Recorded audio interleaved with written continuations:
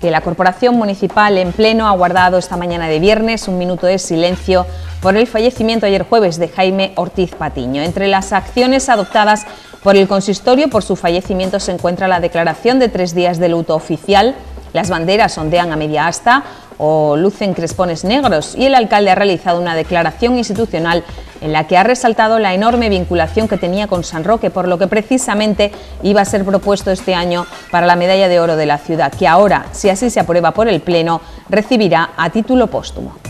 Vamos a realizar una declaración, entiendo que institucional, que quiero que compartan todos los miembros de la corporación,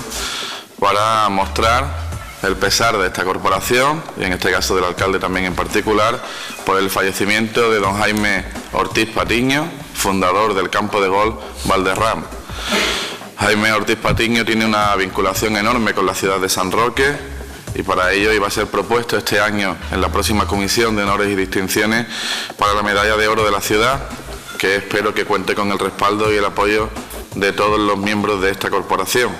Esta solicitud parte no de ningún grupo en particular, sino de la dirección del Club de Gol La Cañada, que mantuvo un encuentro con representantes del Gobierno a primeros de este año 2012, yo calculo que sería en verano más o menos, cuando nos solicitaron al teniente de alcalde de la zona, al señor Roca y a mí, el que trasladásemos a la Junta de Comarca de la Mancomunidad de Municipios del Campo de Gibraltar, el que se reconociese alguna mención pública a don Jaime Ortiz Patiño, a doña Emma Villaciero y a don Ángel de la Riva como grandes promotores del campo de gol municipal La Cañada y en un momento en el que se cumplían 30 años de la creación de este club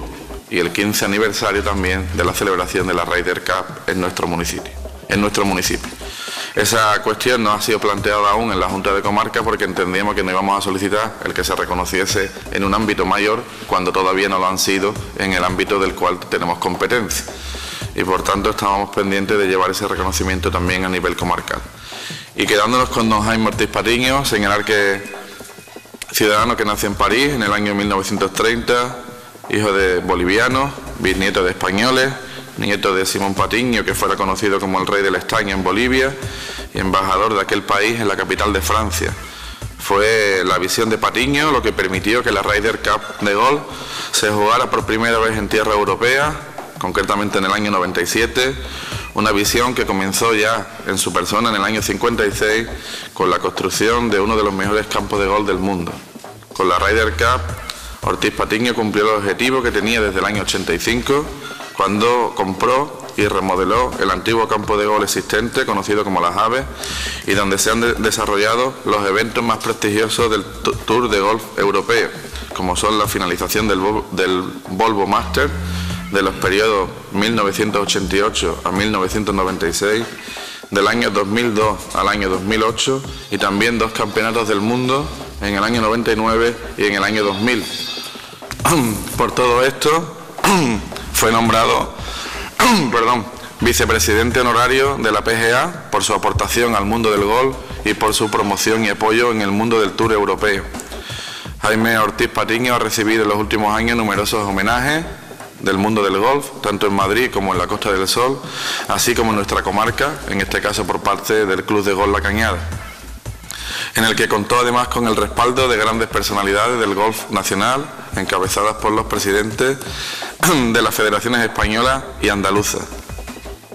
Desde hace cinco años el Club de Golf La Cañada acoge además en septiembre el torneo infantil Jaime Ortiz Patiño,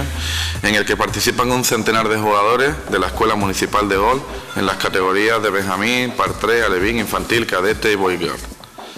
Patiño ha sido durante su vida también un gran coleccionista y ha atesorado desde cotizadísimos cuadros de grandes maestros